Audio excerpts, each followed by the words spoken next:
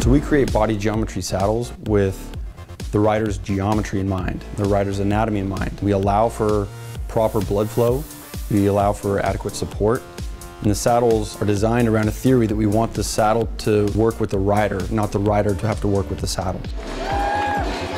I've been on Specialized saddles now for about five years, and I've always been really happy with the, the quality of saddles, especially the roadside. But you know, I've never quite found the perfect saddle for triathlon. I was using a Romin uh, Evo Comp, and that was that was about the best saddle I could find. But you know, I was always looking for something else. So it's really exciting now that they have a dedicated triathlon specific saddle.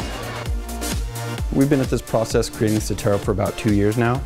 And we started with a distinct rider need that riders in the aero position in an aggressive try or TT position needed to be comfortable.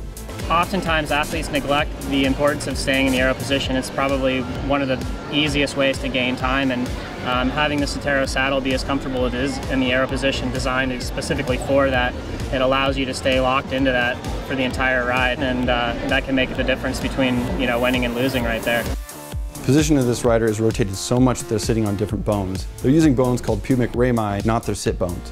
The shape that we finally arrived on is a very angled shape that matches the angle of the pelvis. We found that this certain angle accommodates such a large variance in sit bone width we were able to really hit a comfort level with such a wide range of people that we've never been able to hit before. If you ever thought you were comfortable in the aero position before, you haven't known comfort like this.